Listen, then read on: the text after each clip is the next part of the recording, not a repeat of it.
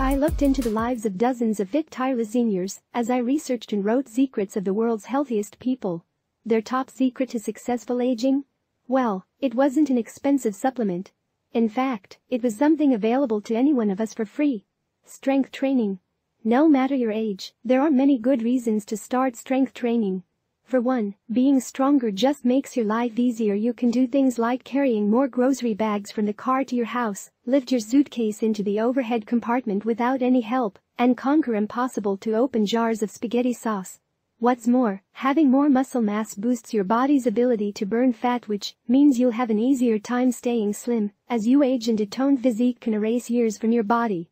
Strength training also improves your bone mass and helps you maintain or better your balance. All of that is why I recommend these 5 exercises to my patients who are older than 50.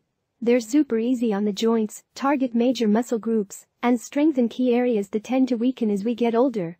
You don't need any weights, either. These moves use your body weight or a band as resistance to build muscle. Do this circuit one Forearm plank core muscle fibers tend to shrink and become less supple as we age, which can put more strain on your back. Planks are one of the best moves you can do to keep your core muscles strong. How to do it? Place your forearms on the floor with your elbows aligned below your shoulders and your arms parallel to your body about shoulder width apart. Close your hands into fists. Push your toes into the floor and squeeze your glutes to stabilize the bottom half of your body. Be careful not to lock your knees. Neutralize your neck and spine by looking at the floor about a foot in front of your hands. Your head should be in line with your spine. Try to hold this position for 20 seconds. As you get more comfortable and your core gets stronger, hold the plank for as long as possible without sac. Downward dog split with knee drive This is another great move for the core. It is particularly good for strengthening the obliques, the muscles on the sides of your core. How to do it? Start on your hands and knees with your wrists directly under your shoulders and your knees directly under your hips.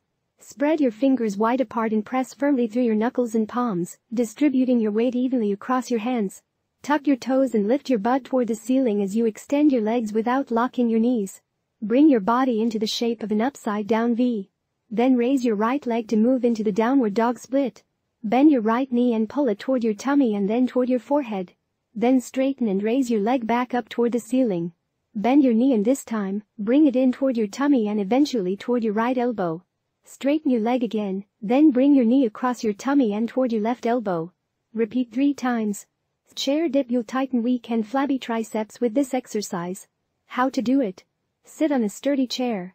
Place your palms against the seat of the chair, next to your hips, and scoot your butt forward until it comes off the chair, and you are supporting your body weight with your arms and legs. Bend your legs at a 90 degree angle. Bend your elbows back and slowly lower your butt toward the floor. Keep your elbows tucked in. Your body should just clear the seat.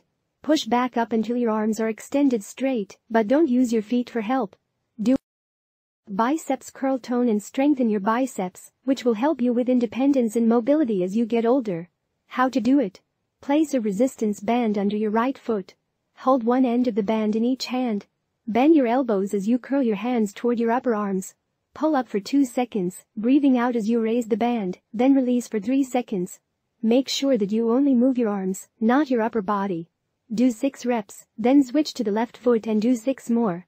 For an added balance challenge, try standing on one leg while Squat squats are a fantastic way to tone your legs, glutes, and core muscles all at once. They help with balance and flexibility to prevent age-related falls. How to do it? Stand with your feet flat on the floor. Push your butt back and bend your knees down into a squat, no farther than 90 degrees. As you lower, raise both arms forward. At your lowest point, your glutes should be back as if you were going to sit down in a chair, and your weight should be on your heels. If you are in the proper position, you should be able to raise your toes off the floor, and you should be able to see your toes. Return to starting position as more secrets for people aged 50 plus. This exercise routine was adapted from Secrets of the World's Healthiest People. It reveals the strategies, health hacks, and recipes of dozens of people who never get sick, never slow down.